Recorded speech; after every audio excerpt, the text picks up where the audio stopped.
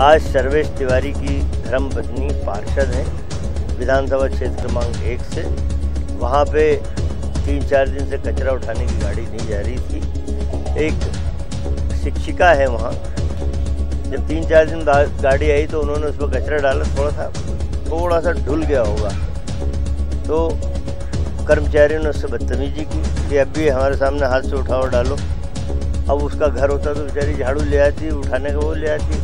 उन्होंने कहा, भैया, आप डाल लो, मैं बच्चों को पढ़ा रही हूँ। उन्होंने उसको बोला, तुझ पर अभी केस करेंगे इतने में। पार्षद पति सर्वेश तिवारी वहाँ आ गए। उन्होंने कहा कि, भैया, ऐसा मत करो शिक्षिका है सबरांत महिला है और आप इस तरीके से यदि तो आम नागरिक के साथ आपका क्या व्यवहार होगा?